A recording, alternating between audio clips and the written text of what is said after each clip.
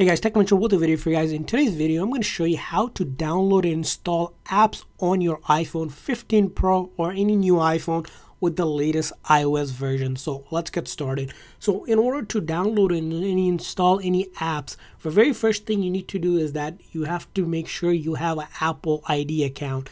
Now Apple ID account is free to create or you can use your existing one but if you click on in the settings here right you go to settings click over here it will give you the option to sign into existing account if you have one or you can simply click on don't have apple id and it will let you create one for free. You can follow the process to do that. So here i'm going to sign into my existing account that i already have by first putting in my email here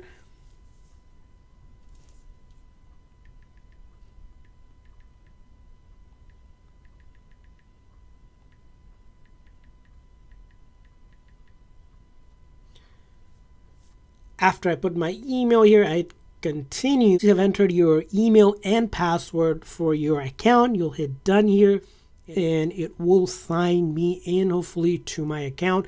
Now, if you have two factor on, you'll have to enter the two factor code. And sometimes if you have another phone password that you is associated with your Apple ID, you'll need to enter that. So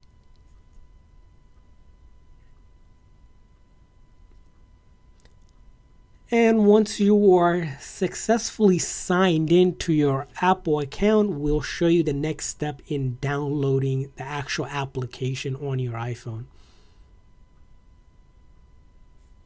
So you can see here, I am signed in. My account is right here. If I go back here, that means you're good to go.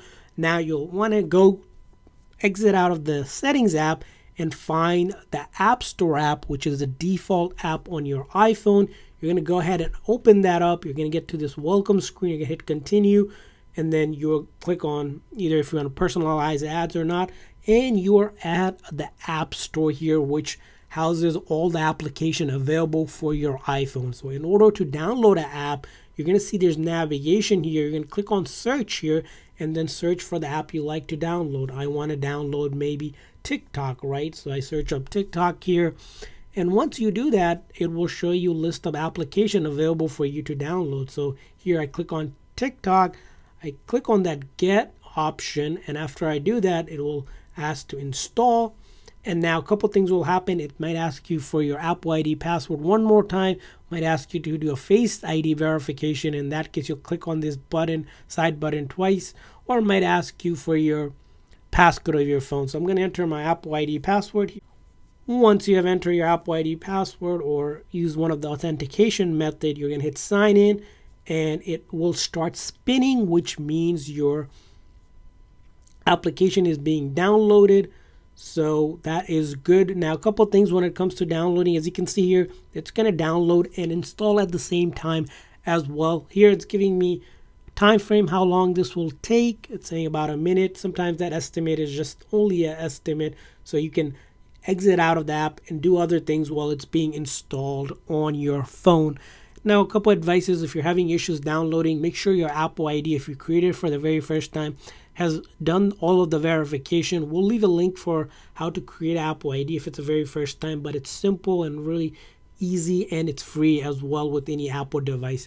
The other thing is sometimes if you're having issues downloading app is because your internet connection might have issues. Make sure you're connected to Wi-Fi is the best way to do it, but cellular data also works in terms of downloading installing apps. But that's it about downloading installing apps. I hope this video was helpful. If so, please make sure to like and subscribe button. Thanks for watching guys. See you guys next time.